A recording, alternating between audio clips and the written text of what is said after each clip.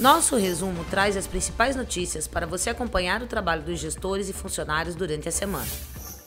Investir em educação é crescer juntos com responsabilidade. Por isso, distribuímos 6 mil kits de preparação para o Enem e vestibular para os alunos do terceiro ano do ensino médio.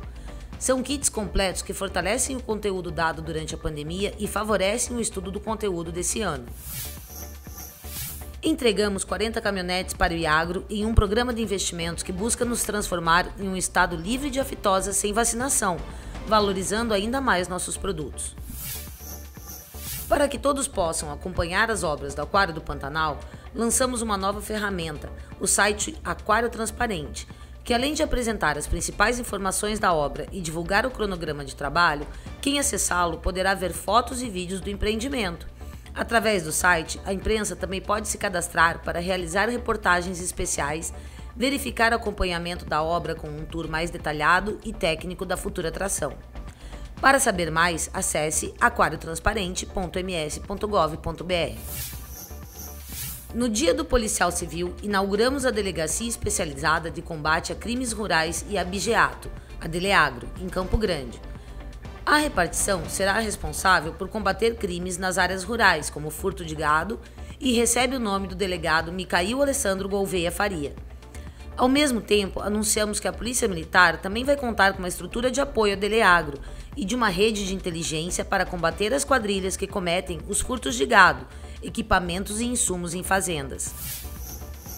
Dentro do programa Governo Presente, nossos representantes foram a Rio Brilhante fazer entregas e vistorias de obras que ultrapassam 11 milhões de reais em setores como infraestrutura, saneamento básico e segurança pública. Para a segurança pública, foi entregue a obra de construção do 20 subgrupamento do Corpo de Bombeiros Militar, onde, além da construção do prédio, o governo do estado investiu mais de um milhão de reais na compra de viaturas para o local e mais de 155 mil reais em imobiliários. Foi realizada também a vistoria das obras de ampliação da estação de tratamento de esgoto do município, que faz parte da segunda etapa do programa Avançar Cidades. Ainda em Rio Brilhante, foram assinadas as autorizações para licitação das obras da Avenida Lourival Barbosa e a ordem de serviço para a obra de melhorias e reformas de poços, assim como a realocação de reservatório elevado. Depois de Rio Brilhante, foi a vez de Amambai receber a visita do governador e dos representantes do governo presente. Lá foram entregues os cartões do Mais Social aos beneficiários 105 títulos de regularização fundiária para as famílias beneficiárias do loteamento Vila Cristina e cheques simbólicos a microempresários beneficiados do Programa Estadual de Microcrédito Produtivo Orientado, o Programa Mais Crédito MS.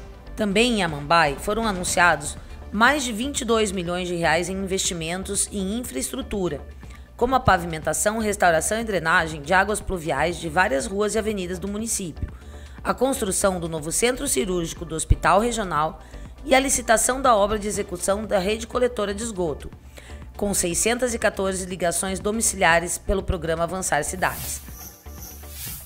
Bom final de semana, se cuide!